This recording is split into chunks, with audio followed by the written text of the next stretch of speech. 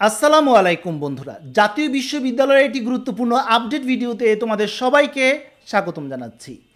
বন্ধুরা, তোমরা অনেকেই জাতীয় বিশ্ববিদ্যালয়ের ডিগ্রি পাস কোর্সের জন্য আবেদন করেছ এবং ফলাফলের জন্য অপেক্ষা করছ। অর্থাৎ প্রথম মেধা তালিকায় যারা আবেদন করেছিলে, তারা এখন ফলাফলের জন্য অপেক্ষা করছ। কবে নাগাদ এই ফলাফলটি দিতে পারে এবং ফলাফল দেওয়ার পর কি করতে হবে চান্স পেলেই বা কী করতে হবে, না পেলেই বা কী করতে হবে, এই নিয়ে অনেকেই তোমরা আমাকে প্রশ্ন করেছ। আজকের ভিডিওতে এই নিয়ে বিস্তারিত আলোচনা হবে, তাই ভিডিওটি শুরু থেকে শেষ পর্যন্ত দেখা তোমার জন্য অনেক বেশি ইম্পর্টেন্ট বন্ধুরা, তোমরা যদি আমার চ্যানেলে নতুন হয়ে থাকো অনুরোধ করছি সাবস্ক্রাইব করার। অলরেডি সাবস্ক্রাইব করে থাকলে থ্যাংক ইউ সো মাচ চলো শুরু করা যাক। বন্ধুরা, ডিগ্রির রেজাল্ট কবে দিবে? অর্থাৎ প্রথম মেধা তালিকার রেজাল্ট কবে দিবে? এই বিষয়টা জানার জন্য ডিগ্রির যে ওয়েবসাইট রয়েছে, অর্থাৎ জাতীয় বিশ্ববিদ্যালয়ের যে মেইন ওয়েবসাইট যেখানে তোমরা আবেদন করেছিলে, সেই ওয়েবসাইট একটু আসতে হবে। চলো একটু কম্পিউটার স্ক্রিনে দেখে নিই। তোমরা নিশ্চয়ই স্ক্রিনে দেখতে পাচ্ছ। এটা হচ্ছে জাতীয় বিশ্ববিদ্যালয়ে আবেদন করার ওয়েবসাইট। এখানে যে ডিগ্রি পাস কোর্স তোমরা দেখতে পাচ্ছ।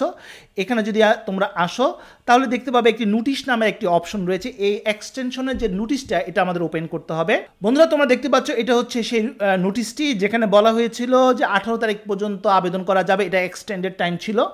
দেখো বন্ধুরা, ইতিমধ্যে আঠারো তারিখ কমপ্লিট হয়ে গেছে, উনিশ তারিখও শেষ, অর্থাৎ টাকা জমা দেওয়ারও টাইম শেষ হয়ে গেছে।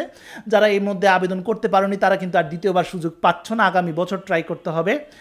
আর ইতিমধ্যে, অর্থাৎ বিশ তারিখের মধ্যে কলেজ কর্তৃক নিশ্চয়ন করার সময়ও শেষ হয়ে গেছে। এরপর হচ্ছে, তেইশ তারিখ থেকে সাতাশ তারিখের মধ্যে কলেজ কর্তৃপক্ষ, তুমি যে টাকাটি দিয়েছ, এই টাকার একটি অংশ জাতীয় বিশ্ববিদ্যালয়ে তারা প্রেরণ করে দিবে। মূলত নিশ্চয়নের পরে, অর্থাৎ এখানে বিশ তারিখ পর্যন্ত নিশ্চয়নের সময় ছিল। এরপর পাঁচ থেকে ছয় কর্ম দিবসের মধ্যেই মূলত রেজাল্টটি পাবলিশড হয়ে যায়। এটাই সাধারণত দেখা যায়। সেই হিসেব যদি আমরা করি, তাহলে আমরা আজকে অথবা কালকের মধ্যে একটা নোটিশ পাবো, যেই নোটিশের মধ্যে বলা থাকবে যে কত তারিখের মধ্যে রেজাল্ট প্রকাশ হতে পারে। আজকে তেইশ তারিখ এবং আজকে এই ভিডিও করা পর্যন্ত কোনো নোটিশ প্রকাশিত হয়নি। প্রকাশিত হলে অবশ্যই আমি তোমাদেরকে জানিয়ে দিব। নোটিশটি প্রকাশ হওয়ার পর সেই নোটিশের মধ্যেই বলা থাকবে কত তারিখে তোমাদের রেজাল্ট প্রকাশিত হতে পারে। মূলত নোটিশ প্রকাশিত হওয়ার দু এক দিনের মধ্যেই রেজাল্টটি পাবলিশড হয়ে যায়। আশা করি বুঝতে পেরেছি।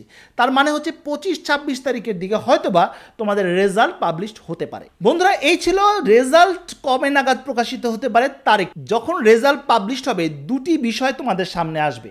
কিছু স্টুডেন্ট চান্স পাবে না এবং কিছু স্টুডেন্ট চান্স পাবে। যারা চান্স পাবে, তাদের কাছে অনেকগুলো অপশন থাকবে। একটি অপশন হচ্ছে, তোমার কাছে যদি যে কলেজটি তুমি আবেদন করেছ সেই কলেজটি তোমার কাছে গুরুত্বপূর্ণ মনে হচ্ছে না, আর এখন তুমি ভর্তি হতেও চাচ্ছ না, তাহলে তুমি ভর্তি না হয়ে অপেক্ষা করবে, সেক্ষেত্রে তুমি রিলিজ স্লিপের জন্য আবেদন করতে পারবে।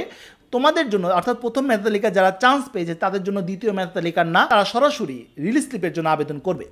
আর যারা প্রথম মেধা তালিকা অর্থাৎ কিছুদিনের মধ্যে যে রেজাল্টটি দিবে, সেই রেজাল্টে তুমি যদি চান্স না পাও, সেক্ষেত্রে তুমি দ্বিতীয় মেধা তালিকার জন্য অপেক্ষা করবে। অনেক সময় প্রথম মেধা তালিকা আসন শূন্য থাকা সাপেক্ষে শিক্ষার্থীরা দ্বিতীয় মেধা তালিকাও চান্স পায়। তাই হতাশ হবে না চান্স না পেলে অপেক্ষা করবে দ্বিতীয় মেধা তালিকার জন্য।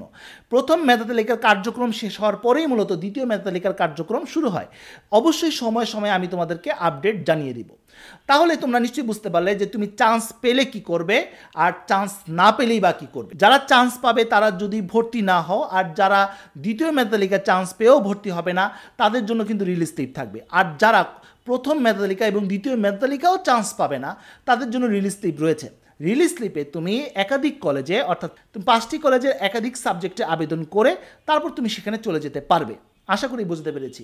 প্রথম রিলিজ স্লিপে চান্স না পেলেও তুমি তোমার জন্য থাকবে দ্বিতীয় রিলিজ স্লিপ অর্থাৎ দ্বিতীয়বার আরও পাঁচটি কলেজ তুমি চয়েস করতে পারো এর জন্য আলাদা কোনো ফিয়ের দরকার নেই, আলাদা কলেজেও টাকা পয়সা জমা দিতে হবে না, মোট কথা অনলাইনে সব কাজ সেরে নিতে হবে। সর্বশেষ যে কথাটি বলব সেটি হচ্ছে, যারা চান্স পাবে তাদের একটি ফর্ম পূরণ করতে হবে। কীভাবে ফর্ম পূরণ করতে হবে এই নিয়ে ইনশাল্লাহ আমি তোমাদেরকে ভিডিও দিব। তো বন্ধুরা, এই ছিল মোটামুটি আজকের ভিডিও আজকে তোমরা জানতে পারলে জাতীয় বিশ্ববিদ্যালয়ের ডিগ্রি পাস কোর্সের রেজাল্ট কবে নাগাদ প্রকাশিত হতে পারে এবং রেজাল্ট প্রকাশ হওয়ার পর তোমার কি করণীয় রয়েছে তা নিয়ে বিস্তারিত আলোচনা করলাম। যেদিন রেজাল্ট পাবলিশ হবে, অবশ্যই আমি তোমাদেরকে দেখিয়ে দিব কীভাবে রেজাল্টটি চেক করতে হবে। তো বন্ধুরা, আজ এই পর্যন্ত সবাই ভালো থাকো, সুস্থ থাকো। দেখা হবে আগামী কোনো ভিডিওতে সেই পর্যন্ত আল্লাহ হাফিজ।